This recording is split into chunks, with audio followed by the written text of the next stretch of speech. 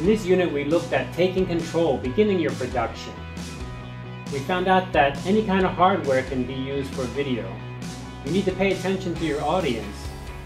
You need to have a story that has a beginning, middle, and end, and you need to keep it short. We looked at some hardware like cameras, you can use almost anything to record. Time management is important, so watch the time, plan ahead. We looked at all the different kinds of jacks and wires that you hook together, and we looked at the basics of microphones.